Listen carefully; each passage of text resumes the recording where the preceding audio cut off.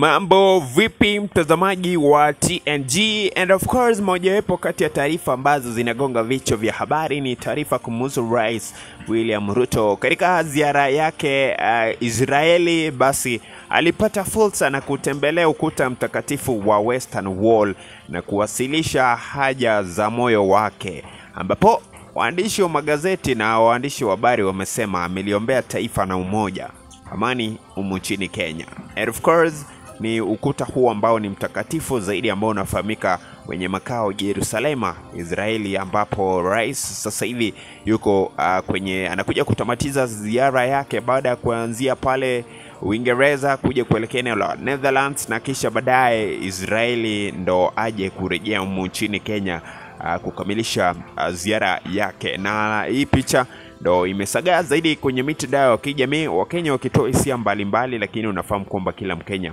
ana haki ya kuzungumza kile ambacho anakihisi. Ndo tu baadhi ya taarifa, nitakuwa nakupa updates zaidi kila kitu ambacho kinajiri.